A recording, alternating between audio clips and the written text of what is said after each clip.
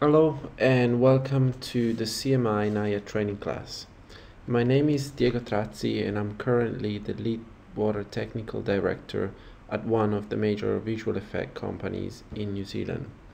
It's, um, it's an honor for me to be here talking about Naiad with you today and discuss some of the technology and challenges that we faced to create the most incredible shots that I have ever been working during the last few years. Um, despite being a relatively new package, Naiad has been already used in production for uh, eye-hand fluid simulation in a long list of movies during these last two and a half, three years. The purpose of this course is to understand the UI of Naiad and uh, understand how to break down a big shot into smaller elements. So then with Naiad we can cleverly uh, produce graphs that recreate elements such as water, splash, foam and bubbles. My personal experience with this package goes back to the very first alpha version ever released and um, when I joined this company. I have found some interesting articles online and I started collecting them and I will uh, be passing you these uh, articles um, in the PDF that is provided with uh, this chapter. Um, I particularly found interesting uh, a talk from SIGGRAPH 2010 which talks about the digital water. Um, there are a few other articles um, that you can find online and we'll be um, sharing these articles as I said on the PDF. Um, but let's let's stop here and talk about my personal experience with this package. Um, when I first joined uh, the, this company, I uh, I was asked to to simulate some really large uh, portion of ocean, as well as river rapids. And after seeing the previous animation, I started investigating on what technology could give us believable results in a reasonable amount of time given the large simulation requests. Um, I therefore started analyzing and testing other um, several commercial solutions that were available at the market at that time. I uh, though quickly realized that the limitation of smooth particle hydrodynamics solvers were not suitable for the type of shots that um, I had to work on. Um, is um, the smooth particle hydrodynamics uh, do really a great job when it's, uh, it's a small scale simulation or when you have to um, simulate um, splash and foam. Uh, but for uh, larger elements, they have a hard time when um, they um, have to simulate things like large tanks.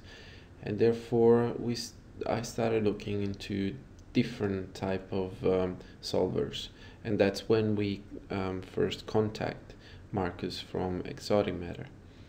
Um, during the the following few months, we had an intense time uh, working and achieving um, quality and the, the, good quality required by the movies. And um, we developed a great amount of tools and solution for the entire ocean simulation as well as rivers and small drops and even for viscous liquids. So um, after the suc- uh, success of this, um, this work and the incredible amount of uh, um, resources and, and, and, work that we put into um, into, into Naiad, uh, we uh, started to adopt um, this package as a standard for the water team and for um, the future projects. Um, but not also, um, being a commercial product started growing a lot of interest and around which um, a small community of artists started uh, sharing the, the graph files, uh, images and videos of their own work.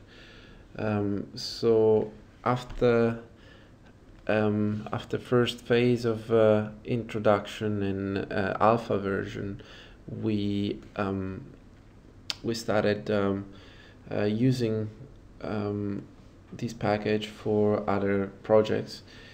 And um, unfortunately uh, despite this article being public on on the net it's still unclear if I can um, if I can claim any of this work as mine nor if I can I can uh, use this content. So to avoid any problem with um, with people would be happy to to get uh, um, get trouble out of this stuff, I I will be um, I won't be claiming any of these uh, these pictures or any of this work, but instead I will be uh, walking through some of the the articles that we found on um, on the net, and I won't be um, um, discussing about any of uh, of these things. Instead, I'm here um, tonight to to talk about uh, technical aspects and um, and how um, to set up um, certain water simulation in uh, in Naiad.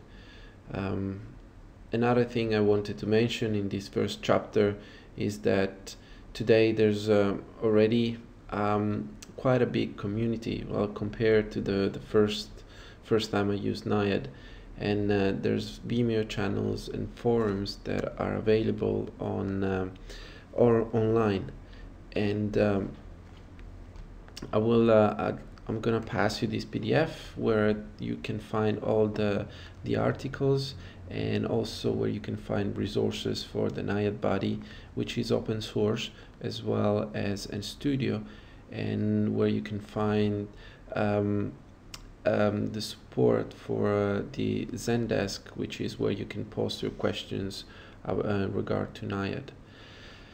Um, to conclude this uh, this chapter, I wanted to mention and give you the opportunity to um, discover um, exoticmatter.com, which is where Naiad is, uh, is will be released, and everybody will be able to get it from from this website.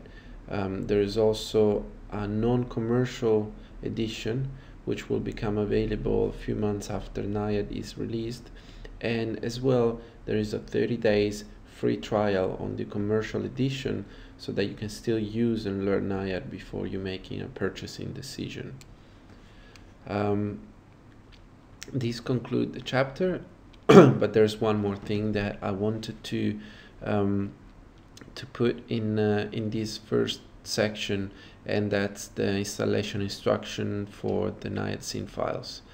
Um, I'm gonna provide um, these tutorials with all the example scenes so you can um, just copy them and modify them and see how I created them. But um, in order to make it compatible to all the computers out there I had to uh, use some environment files. So if you are about to open up some of this scene, please first read this PDF and um, set your environment variables for the Naiad CMI so that then all the relative paths inside uh, the scene files that I've prepared will be finding all the connections. Um, this concludes the first chapter. I hope you enjoyed it up to this point and I'll see you in the next one.